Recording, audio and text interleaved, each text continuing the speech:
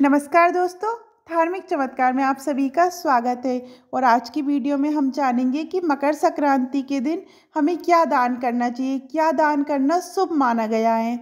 हिंदू धर्म के लोगों के लिए ये त्यौहार विशेष महत्व रखता है। ऐसा कहा जाता है कि यदि कोई व्यक्ति साल भर में कभी भी दान पुण्य नहीं कर सके तो उसे मकर संक्रांति के दिन तो ज़रूर ही दान करना चाहिए। क्योंकि इस दिन किया गया दान दान अत्यंत शुभ फल प्रदान करता है, जिससे जीवन में सुख समृद्धि का बास होता है। जानिए मकर संक्रांति पर किन चीज़ों का हमें दान करना चाहिए? खिचड़ी। मकर संक्रांति के पर्व को कई जगह खिचड़ी के नाम से जाना जाता है। इस खास अवसर पर खिचड़ी की सामग्री या फिर खिचड़ी बनाकर दान करना अत्यंत शुभ माना जाता है। कहते हैं, खिचड़ी का दान करने से कुंडली में सूर्य ग्रह और चंद्रमा मज़बूत होते हैं। गुड़, मकर संक्रांति पर गुड़ का दान भी किया जाता है। कहा जाता है कि इस दिन गुड़ का दान करने से भगवान सूर्यदेव प्रसन्न होते हैं।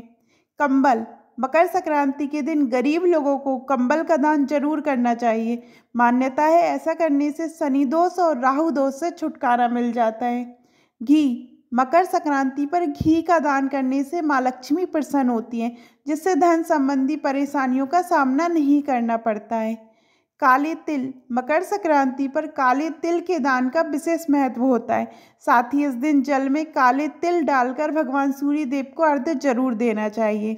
नमक। मकर संक्रांति पर नमक का दान विशेष माना जाता है। कहते हैं, नमक का दान करने से अनिष्टों का नाश होता है।